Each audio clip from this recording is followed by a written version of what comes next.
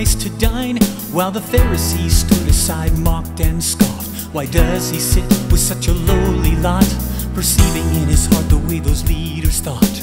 Jesus stood up against the things they taught that a man isn't holy by what he does, but stands by faith in God above. He had come to heal the lame, halt, and blind, and forgive the sins of all mankind. But the Pharisees couldn't stand the things he said, and closed their ears and shook their heads. Stand up, O man of God, be healed of your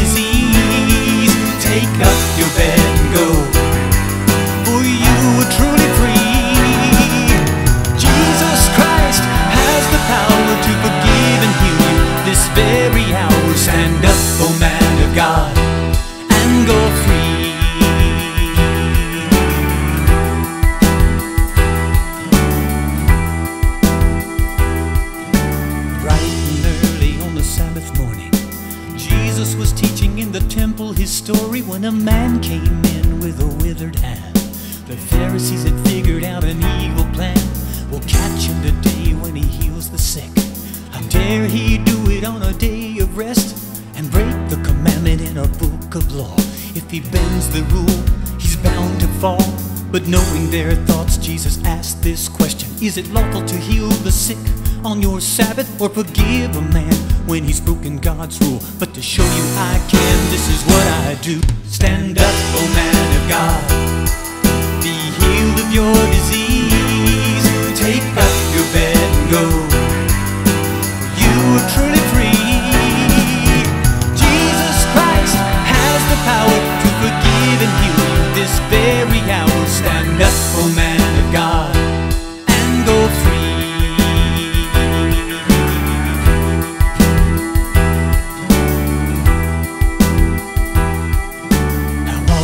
sat and wallowed in the mire when the Son of God has had the desire to cleanse you from your sin sick soul.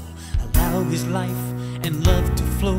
Forget what lies behind you now. Believe in God, He will show you how. He wants to heal you of your guilt and shame and set you free.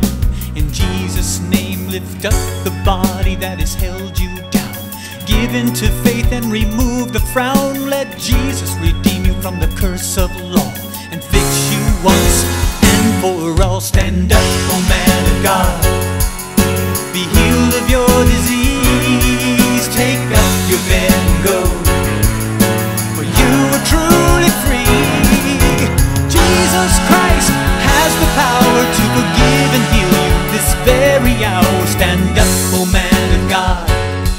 go